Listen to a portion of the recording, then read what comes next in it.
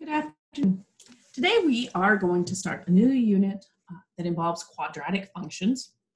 We are going to start today by looking at the different forms of quadratic equations, comparing and contrasting them to the other types of functions that we have reviewed.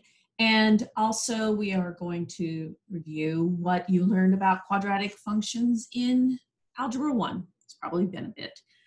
We're going to start off with just some vocabulary and actually, I'm going to be a wild and crazy girl and show you one that's already filled out.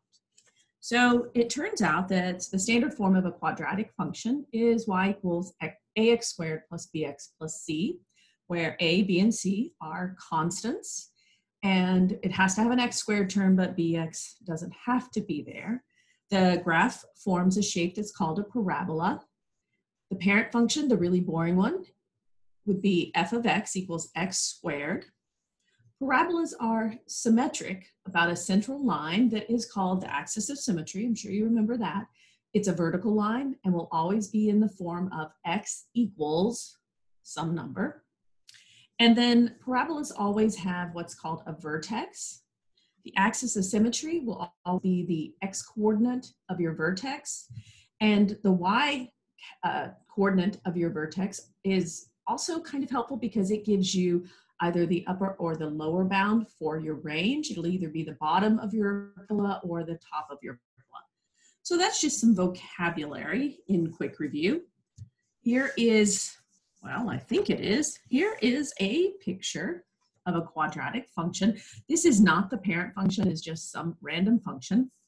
The parent function again is x squared. This is of the form ax squared plus bx plus c. It um, is a parabola, we know that, but this I would love for you to put a star next to. This is the axis of symmetry. This is how we find the axis of symmetry using a standard form equation. And this is very helpful to remember. The y-intercept in standard form will always be whatever the c constant is. That c constant represents the vertical translation up or down of the parent function in, if I'm looking at a graph, remember that the x-intercept is where the graph crosses the x-axis. Parabolas may or may not have x-intercepts, zeros, roots, solutions. Remember, those are all words that mean the same thing. And it's where the parabola crosses the x-axis. The vertex, gosh, I didn't even highlight the vertex here. Let me do that now. The vertex is where the parabola changes direction and starts going um, up if it was previously going down or vice versa. And then lastly, you can see the axis of symmetry goes through the vertex. And if you were to fold the parabola along the axis of symmetry, the two sides of the parabola would perfectly line up. Some other interesting things. If the a value is a positive number greater than zero, then the graph will open up like a cup and the vertex represents a minimum which means that the um, y value of your vertex coordinate would represent the lower bound of your range statement. If the a value is a negative number, less than zero, then the parabola will open down like a frown. I just love saying that. And the vertex represents the maximum or the highest point on the graph. And the, the y coordinate of your vertex would then represent the highest or the upper bound of your range statement. What else have we got here? Oh, I like pictures. Here's another picture for you. Uh, this is actually a, um, well, actually it gives us the formula, x squared plus 2x minus 5. In this graph, I can see the x-intercepts, or the zeros as we call them, right? So that's where I cross the x-axis. I'm going to underline that. I can also see the vertex. The vertex is at negative 1, negative 6. Negative 1 represents the axis of symmetry. Remember, I said the axis of symmetry is always a vertical line. Its equation will always be x equals the x coordinate of the vertex. And then the negative 6 in my vertex represents the lowest point on my graph and that negative six is what we're gonna use when we write our range statement. The x value, the input values in a function um, are called the zeros. They are also called roots, solutions, and x-intercepts. So those are just some more vocabulary words. And your graph can either have, I'm gonna move it up so you can actually see, your graph will either have two zeros, one zero, or no zeros. So it either crosses the x-axis twice, it touches the x-axis only once, or perhaps it doesn't touch the x-axis at all. So that is a quick review of things that hopefully you've learned in Algebra 1. You'll notice that because the parabola changes directions, it's definitely not linear. We can tell that by looking at the equation and noting that it has an x squared term. It's similar in some ways to the absolute value function because it does have a vertex. It is symmetric, but it has a rounded shape instead of the uh, straight sides that an absolute value function has. And those are some important differences. All right, let's look at some different forms of quadratic equations and quadratic functions. There is a standard form of a quadratic function, which we just spoke of. We can write quadratic functions in vertex form. Vertex form is very handy because I can immediately find the vertex in this form. It also gives me information about a horizontal transformation and a vertical transformation, and the A value would represent any uh, stretches or compressions that would happen. We also have factored form, which is also sometimes, I'm going to put this under here, called intercept form.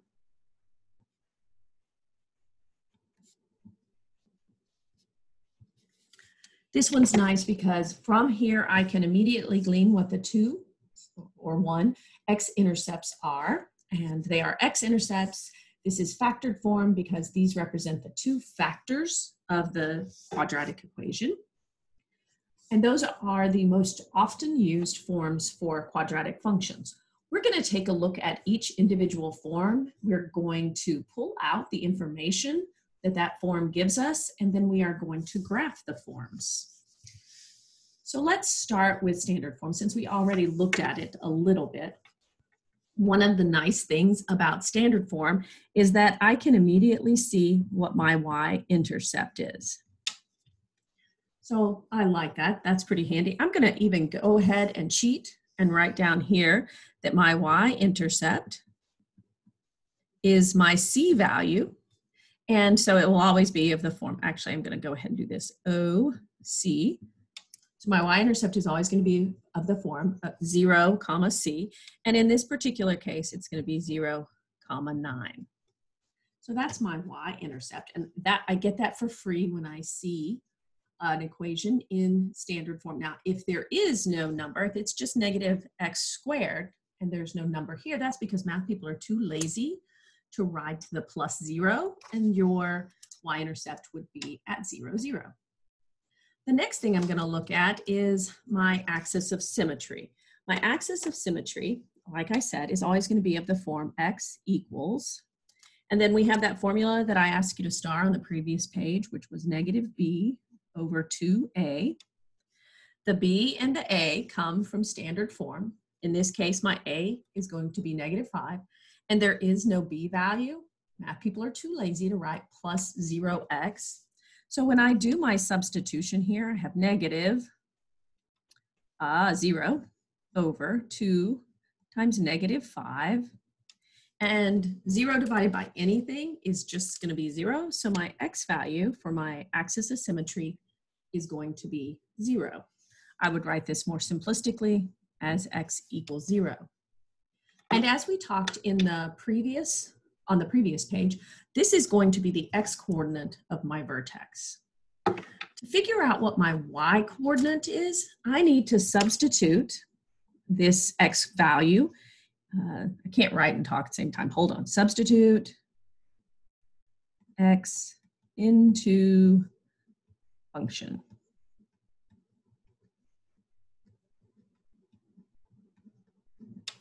So I'm going to substitute the x value into my original equation and out will come the y value that corresponds to it. So I had y equals negative 5. And instead of using an x there, I am going to use what I, in this particular case, want the x value to be, which is 0. Gotta love that though, because negative 5 times 0 squared is 0. I end up with 0 plus 9. So my y value, good grief, what was that? My y value is just going to be 9. So now I know what my vertex is. My vertex has an x-coordinate that matches the axis of symmetry, and it has a y value of 9. And this is nice because that's going to be used in my range statement.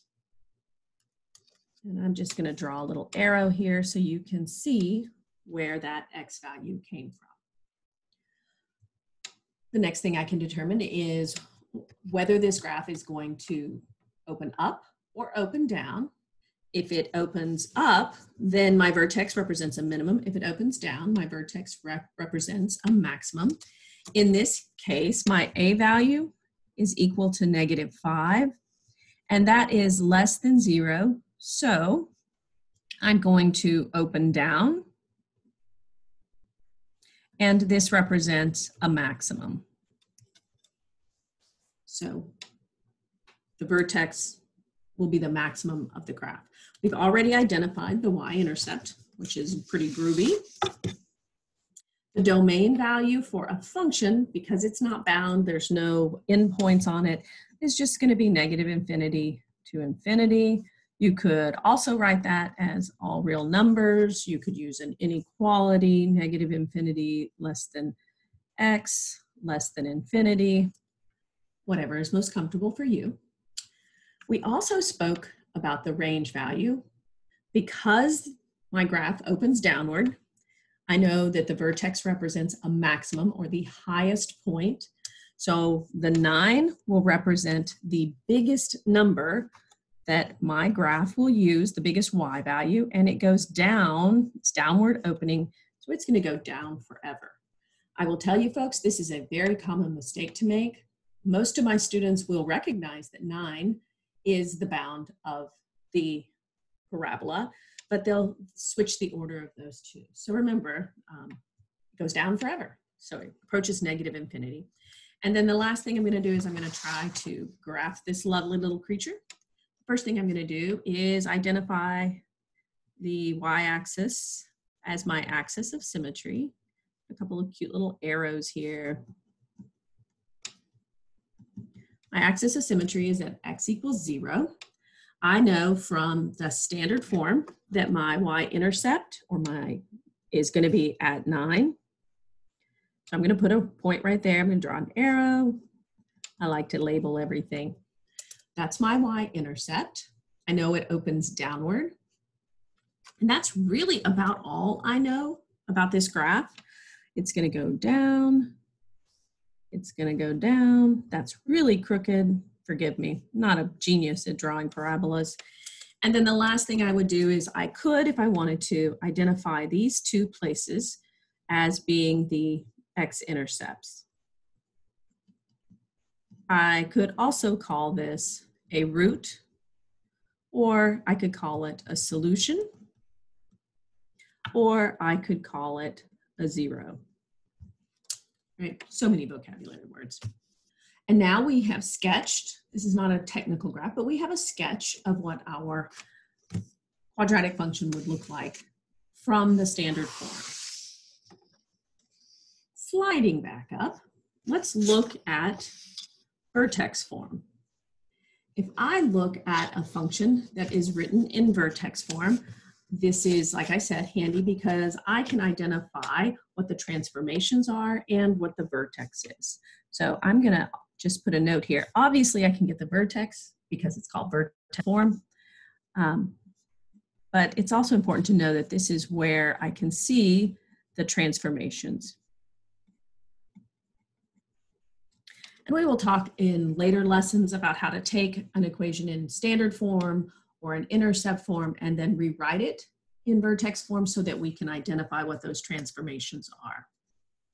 All right, let's look. What kind of graph do I have here? The first thing I notice is there is no number in front of my parentheses, so my A value is actually going to be 1.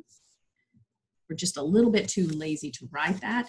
This is a is greater than zero, so it's going to be a minimum and it's gonna open up.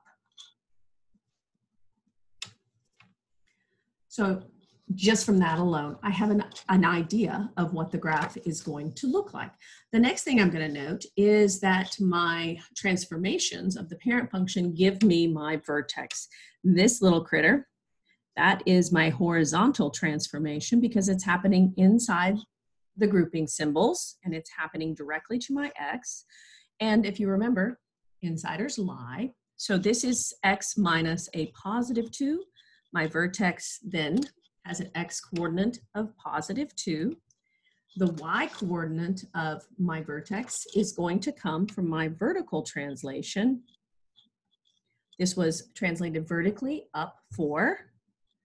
So I know that is the y coordinate of my vertex.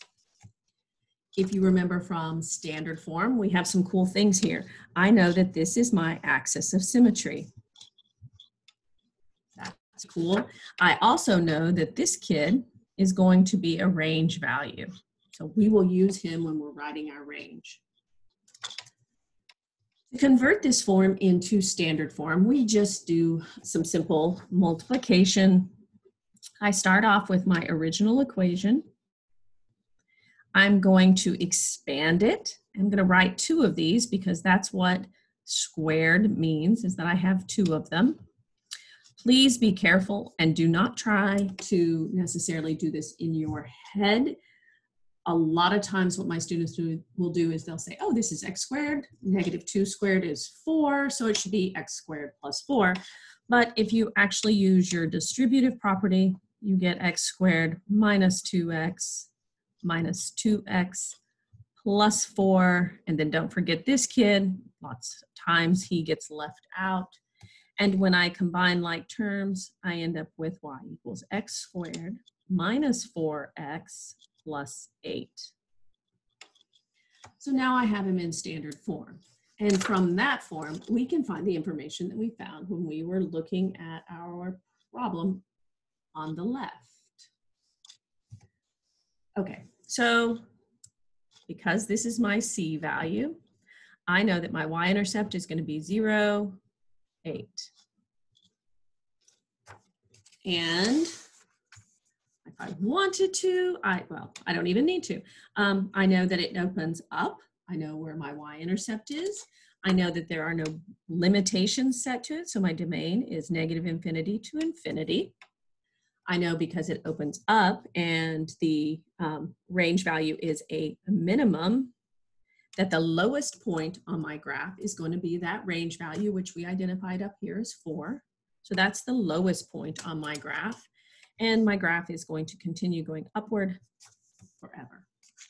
So now I have some pieces that will allow me to sketch the graph of this function. Remember, it's just a sketch. It's not a, an absolute um, exact replica. I'm going to draw my axis of symmetry at x equals 2 because that is the exponent of my vertex. I know my vertex occur, occurs at 2, 4. So I'm going to put him right there. I know that my y-intercept is going to be up here somewhere at 0, 8. And that's most of what I know about my graph and I'm just gonna sketch them ah, just as poorly as I did the previous one. Again, my vertex is at two, four. But it gives us an idea of what that graph might look like. Last one, folks. Thanks for hanging with me.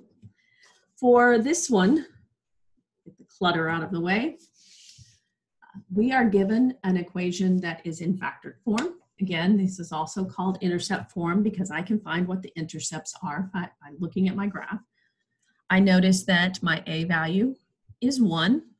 And just like the previous problem, it's positive, so it's gonna open up. This one is unique because it gives me my factors. That's why it's called factored form. I'm gonna There we go. Um, these are factors. These are Algebra 1 factors. When you're in elementary school, your factors are things like factors of four, one, two, and 4, factors of 2, 1 and 2. But when we go into an algebraic world, our factors are often represented by algebraic expressions. To find what the x-intercepts are when given factors, I set my equation equal to zero because I'm trying to find the value of x when y equals zero. I'm gonna ignore the one if you'll allow me that latitude. And to find the actual x-intercepts or the zeros, I set each one of my factors equal to zero and I solve for x. So x is either going to be negative 4 or x is going to be equal to a positive 2. Those are my x-intercepts. If I write them as zeros, roots, solutions, however you want to think of it, this is the value of x when y equals 0. So that is what we are able to discern. And if you're clever, you can do it uh, from just by looking at it, as long as the X inside the grouping symbol does not have a constant in front of it, then I can say, oh, insiders lie, so my X-intercept's negative four. Insiders lie, so my X-intercept is positive two. But again, be careful if there's a, a coefficient in front of your X. To write this in standard form, I'm gonna do much like I did with vertex form. I am going to expand, start with my original equation. I'm going to expand and multiply this using distributive property.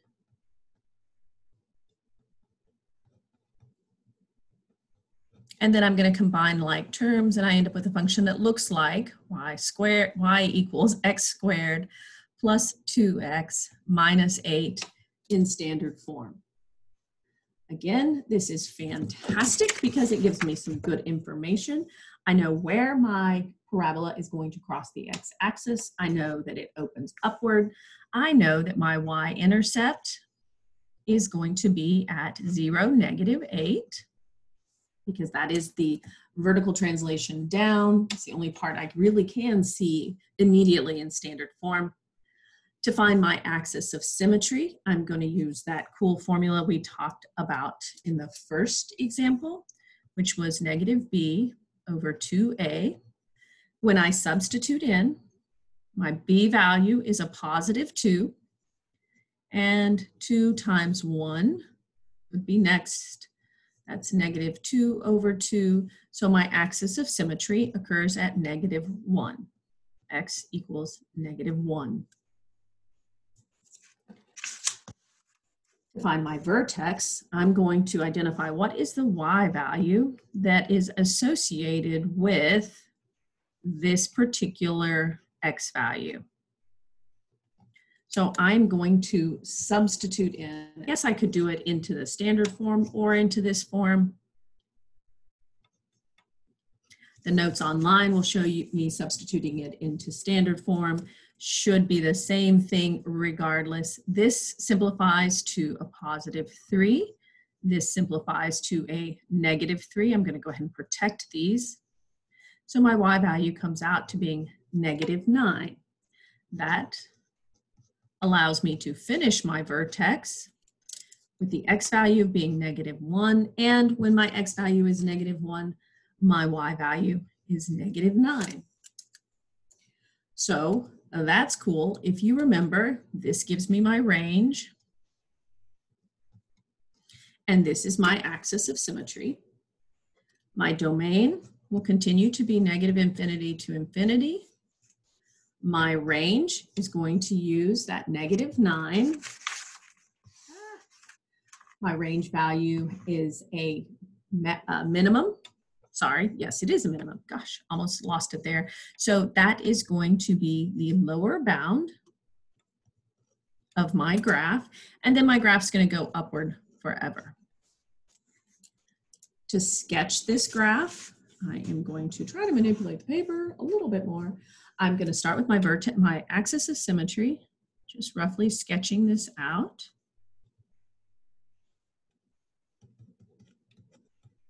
That's my axis of symmetry. My vertex occurs at negative one, negative nine, which I'm gonna put way down here.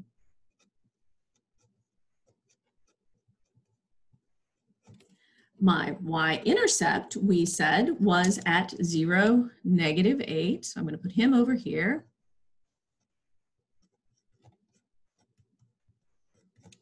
And I know what my x-intercepts are. So I know my graph crosses the x-axis at x equals 2. And I also know that it crosses again over here at negative four zero. So this is kind of cool because it gives me lots of good information about what my graph looks like. Literally doing this here badly. And that gives me a good representation of what this function y equals x plus 4 times x minus 2 might look like. So quick review, folks. We've talked about the three different forms of quadratic functions.